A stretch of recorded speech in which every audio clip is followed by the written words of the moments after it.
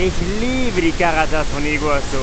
Das erste Mal hatte ich keine Höhenangst habe. Es ist einfach nur unglaublich.